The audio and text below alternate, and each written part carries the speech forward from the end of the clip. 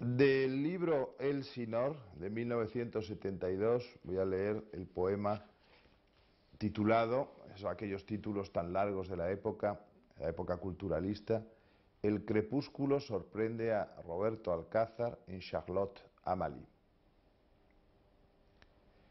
El Cairo, Puerto Príncipe, como efigies o dársenas propiciadas al mar, Buenos Aires, Junot, no siento ya las venas.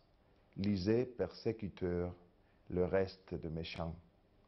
Roberto, una flamígera sombra en los cafetines, vestigios de heroína en las naves de Charlie.